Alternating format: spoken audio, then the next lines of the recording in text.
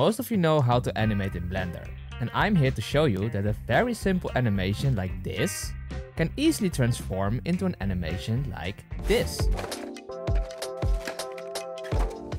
The last animation seems way more lively and professional, and all of this is done with just one single little technique. Animating in Blender is quite easy. Let's use this cube as an example. We want this cube to move from this position to another position. We just have to create a keyframe at the starting location.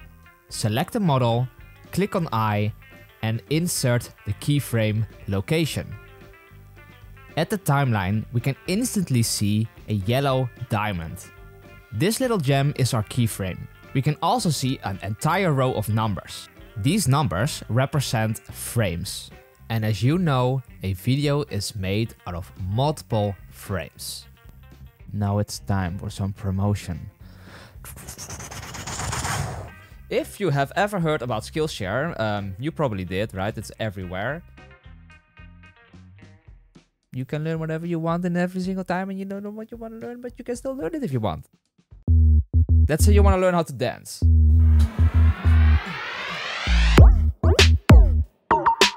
Then, of course, Skillshare has you covered. Um, I did not really follow the class, as you could see, but there are many more classes on Skillshare.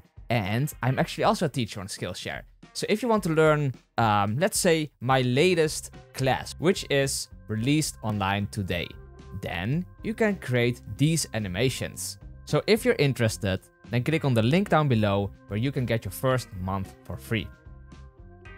Let's go on to the video. So let's go to frame 60.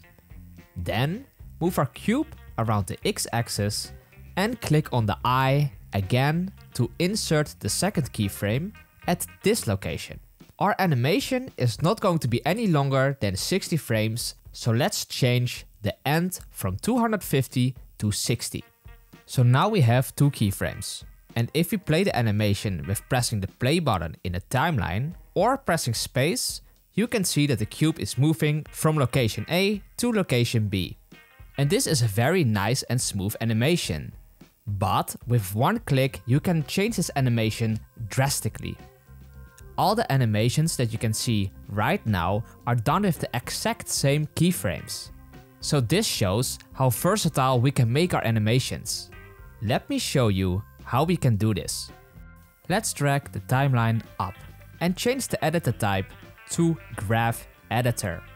The keyframes in this editor type are represented as black dots, which become orange when you select them.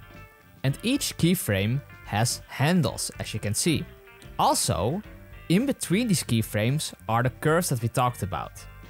In this graph editor, we can edit these curves to create the different animations. Let me first show you how to navigate through this editor. You can press and hold the middle mouse button, then drag around your cursor to pan around in your scene. You can scroll your scroll wheel to zoom in or zoom out. And in certain cases, you will see that you can barely see the curves. In these cases, you can scale view. This you do with Ctrl and then pressing the middle mouse button and of course dragging your mouse up and down. So how do we change this animation? Well, very easy. You just have to select one of your keyframes and start playing around with these curves. So you can scale this one up or rotate it and you can instantly see changes happening to your cube. So let's play this and you can see that now it acts differently. That is a very easy and simple way to just change this. But if you click on N or drag this little arrow out, you can see that we have some more options. We can change the interpolation here, which you can also do by pressing T. The interpolation can be constant, linear or Bezier. Bezier often creates the most smooth results. But easing can also be quite handy to use. So if we select our first curve here, then go to interpolation and change this to exponential, you can instantly see this whole curve changing. Then, as easing, you also have some different methods. We have easing in, we have easing out, we have automatic easing. And all of these will of course impact this curve. But how do we choose which curve to use? Of course you have your artistic freedom. But if we take a quick look at all the shapes, you might get a better understanding on how to use them. A normal Bezier curve moves slow in the beginning, speeds up in the middle of the animation and slows down at the end.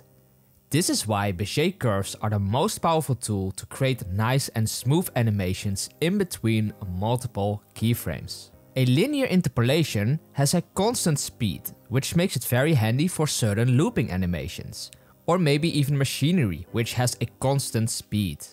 If we take a look at different easing types, you can see that we can choose between a slow beginning and speeding up later on. This makes me instantly think about a car driving off. Or the total opposite, where we start quick in the animation but slow down in the end. Think maybe about something falling in the water. And there are of course dynamic effects which kinda speak for themselves. Think about bouncing balls, or maybe something elastic, like a bow and arrow. So please use the graph editor when you're animating. And also, if you have, you know, animated anything, send it to me on uh, Instagram. I will also leave a link down in the description below.